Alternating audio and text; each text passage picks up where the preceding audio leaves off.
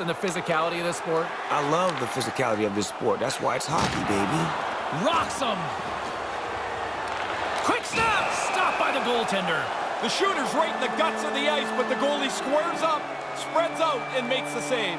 Charging the call on the play. Travel too much distance to make that hit.